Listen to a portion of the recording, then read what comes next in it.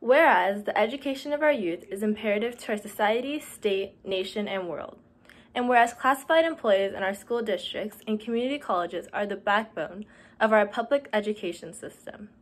And whereas the classified school employees of Milpitas Unified School District provide efficient and effective support and ancillary services, they're essential ingredients to excellent teaching, sound administration, and high school achievement, and Whereas classified employees are rarely in the spotlight, but are always central to the activities of our school, serving with professionalism and dedication,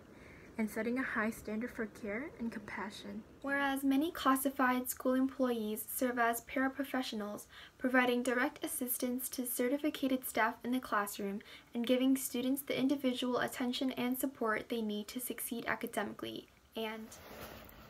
whereas other classified employees perform vital clerical, transportation, food service, office support, and many other functions that without which local school sites, district offices, and county offices could not operate, and without which many students would not receive important educational and health-related services, and